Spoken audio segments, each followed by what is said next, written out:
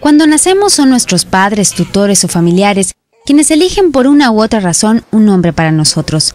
Quiere decir que quizá nos llamamos como el abuelo, el tío, la prima o bien como nuestra Virgencita de Guadalupe. Tan solo en el estado de Sonora durante el 2007 y lo que va de este 2008, suman ya un total de 3.381 personas entre mujeres y hombres quienes han sido registradas con este nombre. Sin embargo, la decisión por llamar a un hijo o hija como Lupita data desde 1930, cuando dieron inicio de manera oficial todos los procesos en el registro civil de nuestro estado.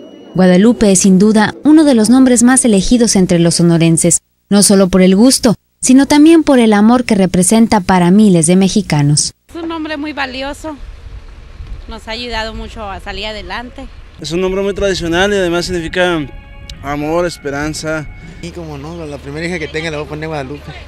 Para Noticias Telemax, en la cámara Antonio Victorín, Ana Luisa Carranza.